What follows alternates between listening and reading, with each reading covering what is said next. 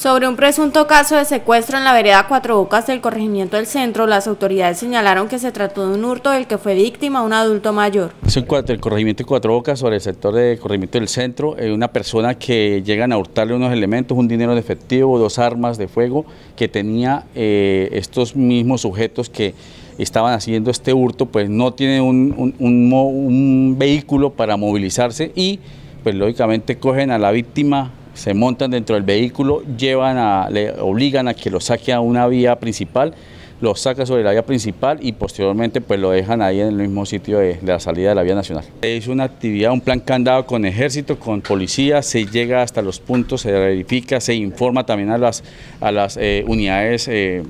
concernientes también lo que es excepcional de tránsito y transporte y realizar el plan candado. Se conoció que los responsables de este hurto se dieron a la huida. Las autoridades trabajan en las labores investigativas para dar con el paradero de los responsables.